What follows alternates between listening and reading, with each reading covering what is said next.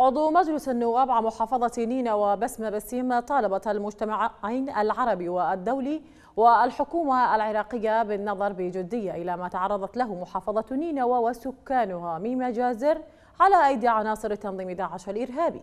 وكشفت بسيم عن وجود نحو 320 مقبرة جماعية في عموم نينوى بحاجة إلى جهود دولية من أجل انتشال رفات جميع الضحايا وإعطاء الحقوق لذويهم.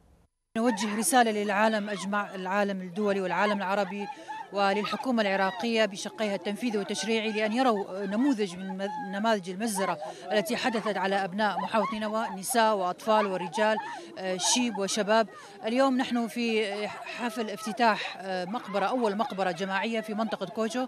الجريحة التي شهدت مجزرة آه، أبادت كثير من سكان هذه القرية.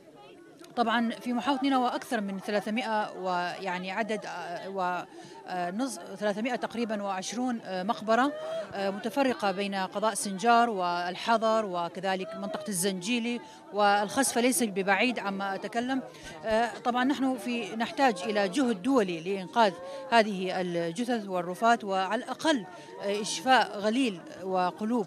أهالي الضحايا بتسليمهم جثثهم وإعطائهم حقوقهم ومستمسكاتهم فأتمنى أن تصل الرسالة ولا أتك... لا أستطيع أن أتكلم اليوم اللغة العربية عاجزة والإنسانية خجلة مما يعني يحدث في هذا اليوم وهذا